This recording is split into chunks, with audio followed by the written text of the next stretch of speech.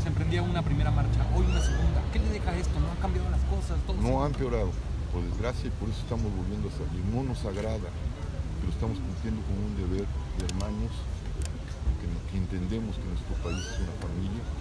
Estamos eh, respondiendo a un deber moral, a un deber ciudadano. Esto es, un inicio de la conformación de una fuerza ciudadana, Javier, ¿Cómo? es el inicio de la conformación de una fuerza ciudadana en México. Pues esperemos. Esto es un show, ver. Javier.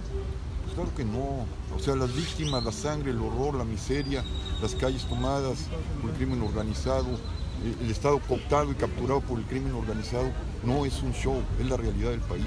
Javier, a unos minutos de que arranque esta caminata, ¿qué llamado le haces a la ciudadanía? Pues que esta es una agenda de todos.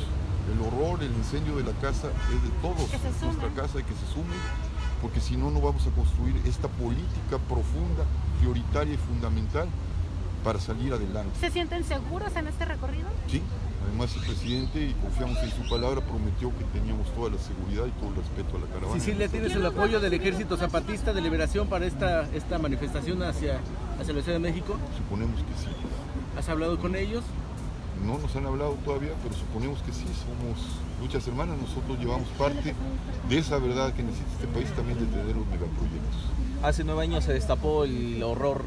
Hoy que se pretende, bueno, ¿qué, qué- A ver, qué expectativa? ahorita mostramos el horror, le dimos hace nueve años rostro